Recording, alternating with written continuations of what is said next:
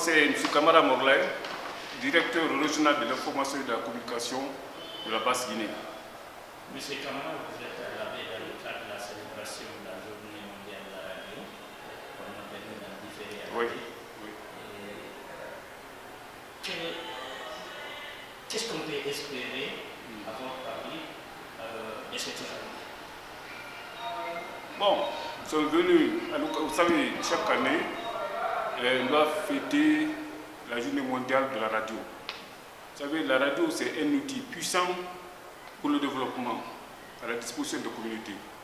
Alors cette année, euh, on a organisé notre collègue, la directrice régionale de l'information et de communication de la Guinée, qui a eu la première à organiser cette année à l'ABI. Donc sur ça, euh, on ne doit pas rester à l'écart. Nous sommes venus pour la soutenir, pour la soutenir dans cette action, afin que vraiment le la radio soit un rayonnement dans toute la moyenne Guinée.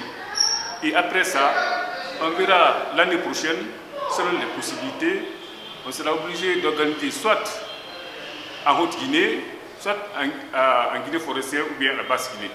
C'est l'objet de notre présence, la soutenir, développer dans ces différentes actions.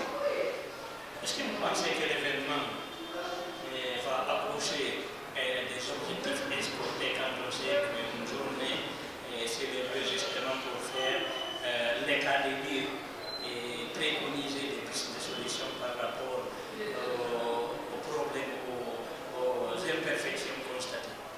Oui, vous savez, la radio c'est un outil puissant depuis. Ça a été d'ailleurs premier, le premier média pour faire une communication à l'intention euh, de tout le monde. Sur ça, les autres médias sont venus après. Donc euh, sur ça, vous savez que c'est moyen puissant. Ça- la radio touche presque euh, une, grande, une grande étendue géographique des communautés. Alors, c'est très simple. Il suffit seulement d'avoir un seul poste, quel que soit le lieu où il y a une couverture, vous pouvez recevoir moins cher par rapport aux autres médias. C'est ça. Nous pensons que l'autre venu ici, on va essayer de développer comment, euh, euh, comment la population peut se servir de cette communication, de ces communications radiophoniques pour son développement dans toutes les, dans toutes les activités, au point de vue agricole, au point de vue élevage des bœufs, au point de vue artisanal, au point de vue culturel. Presque dans tous les domaines vitaux de l'homme, la radio permet ici et, à la population de se développer, d'imiter les autres communautés loin. Donc euh, c'est pour cela que nous sommes venus pour développer la radio. Il faut montrer à la population de euh, la Moyenne-Guinée que la radio est là, c'est pour servir la paix. Cette année, euh, le thème, c'est la radio et la paix. Nous sommes en période de transition. Vous savez, c'est une période critique.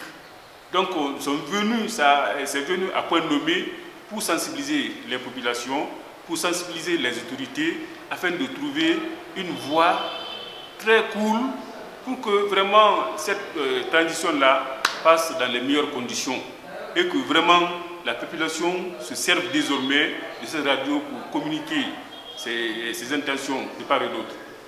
En tant que vecteur de paix, quel est le comportement actuel des médias de la Basse-Guinée Non, le comportement actuel de la Basse-Guinée, vous savez, depuis l'avènement euh, euh, de notre pays à l'indépendance, il n'y avait pas tellement de radios privées. C'est tout récemment que les radios, les radios, ont les radios privées ont commencé à, surgir. Et ça aussi avec beaucoup de courage. Sinon, les premières radios, à leur début, avaient assez de difficultés.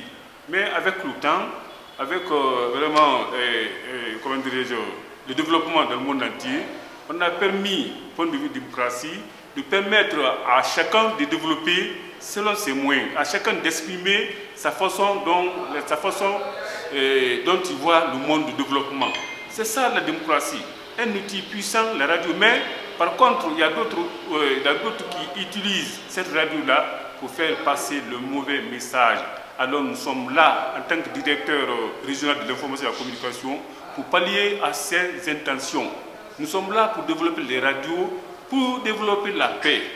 la paix, le développement, la cohésion, d'abord au niveau de la population, puis au niveau des autres entités eh, au-delà. C'est comme ça. Les autres médias, de, les, médias de la Basse-Guinée, vraiment, je pense que eh, la plupart font eh, de bon boulot. Ce bon boulot-là est salué pour tout le monde. Parce qu'il n'y a qu'à l'engouement. Le matin, vous verrez beaucoup de radios, les populations sont là à travers leur poste radio, à travers leur téléphone, pour écouter, pour donner leur point de vue à travers les sujets qui sont débattus au niveau de ces antennes-là. Et par après, on trouve que vraiment le problème qui devait être explosé, on trouve on, chose, on, étouffe ça dans des mouchoirs de poche. C'est comme ça. Sont les besoins prioritaires du moment des médias de la basse Les besoins prioritaires des médias de la basse que je connais, donc euh, c'est l'année dernière, c'est-à-dire il y a eu une immersion gouvernementale dans toutes les régions naturelles de la Guinée, dans toutes les préfectures de la Guinée d'ailleurs. C'est dans ça que vraiment au niveau de la basse Guinée, on a besoin d'une maison de la presse, une maison qui va permettre euh, à tous les journalistes euh, de, de débattre des sujets communs, des sujets à leur intention, les, les sujets liés à leur profession, maison de la presse. Alors on a eu la chance de trouver une maison de la presse, ça c'est en location d'abord. Et on a eu encore euh, la chance, le gouverneur de Kindia nous a trouvé un terrain pour la construction du siège de la radio rurale et tout les, qui va, un, bon, un bâtiment à trois niveaux maintenant qui doit abriter tous les services publics du ministère de l'Information et de la Communication. Ça, nous sommes en construction de ça.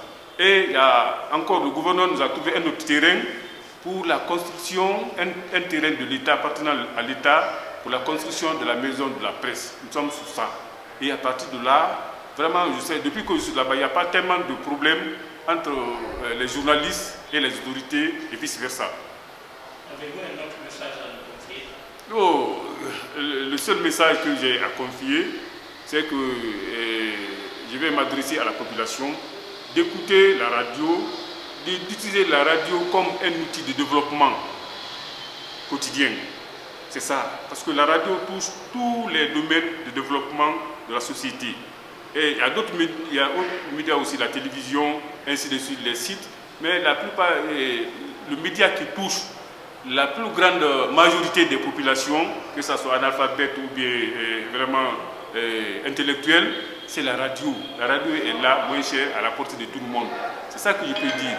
Et aux journalistes, nos collègues, journalistes, de chercher à se former, de chercher à se former par rapport à la déontologie et à l'éthique du journalisme. Vous savez, ça, on a aujourd'hui la liberté.